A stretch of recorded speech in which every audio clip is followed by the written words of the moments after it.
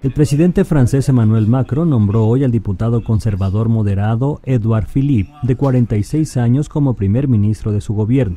El anuncio fue realizado luego de una larga espera en el Palacio Presidencial del Eliseo por el secretario general de la presidencia, Alexis Kohler.